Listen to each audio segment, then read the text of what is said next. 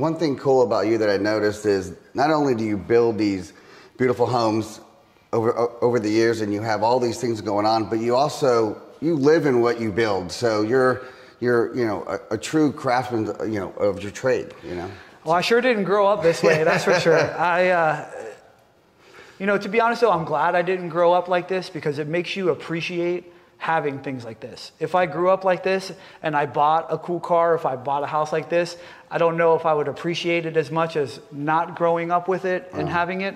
But luckily, I do live the lifestyle that I sell. I was able to build one of these amazing houses and move into it with my beautiful wife. Wow. So it helps me tremendously when I'm dealing with the customers.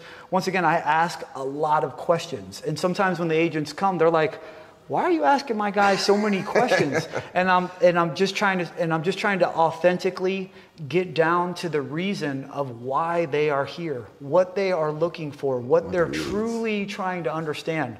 But me living in one of these houses, I understand why I have the boat where I do, why I put the ice maker outside, why I have pathways from both sides of the house that lead to the water, why I put the boat lifts inside, or excuse me, the car lifts inside the garage, you know, right. the, the, the, certain little things when you only understand by living that lifestyle, it That's really awesome. tremendously helps you. And also, I've been selling these for a while, so I ask a lot of questions and hear what the buyers are looking for. So it really sure. helps. But I am blessed uh, enough to live in one of these houses, and I don't take it for granted for one second. Awesome, man. Awesome.